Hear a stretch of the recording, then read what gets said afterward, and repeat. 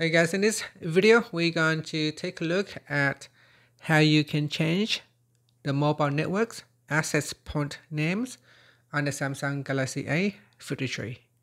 First, tap on the home button to return back to the home screen. From the home screen, swipe down at the top, then tap on the settings icon.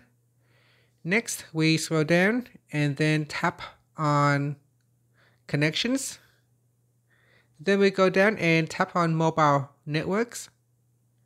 Next, tap on access point names.